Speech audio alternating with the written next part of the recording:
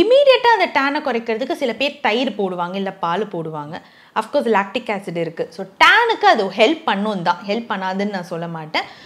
But ஆனால் அது கூட இந்த லெமன் கிமெல்லாம் எதுவும் போட வேண்டாம். ஏன்னா வேணும்னா வெறும் தயிர் பால் வேணால் போட்டுக்கோங்க. அது இமீடியட்டாக அந்த டேனை வந்து ரெடியூஸ் பண்ணுறதுக்கு அது ஹெல்ப் பண்ணும்.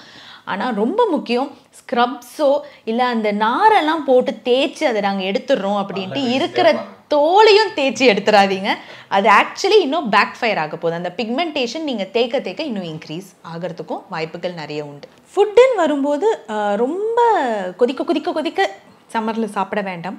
சில பேருக்கு வந்து லிப்ஸ் டார்க்னஸாக இருக்கட்டும் வாயை சுற்றி வர பிக்மெண்டேஷனாக இருக்கட்டும் அந்த ரொம்ப கொதிக்கிறதா சாப்பிடும் போதும் ரொம்ப மசாலா இருக்கிற ஐட்டம்ஸ் எடுக்கும் போதும் வரதுக்கு சான்சஸ் இருக்கும். ரொம்ப காரமாகவும் ரொம்ப ஹீ ரொம்ப கொதிக்க கொதிக்க எடுக்கிறது மட்டும் அவாய்ட் பண்ணிக்கோங்க.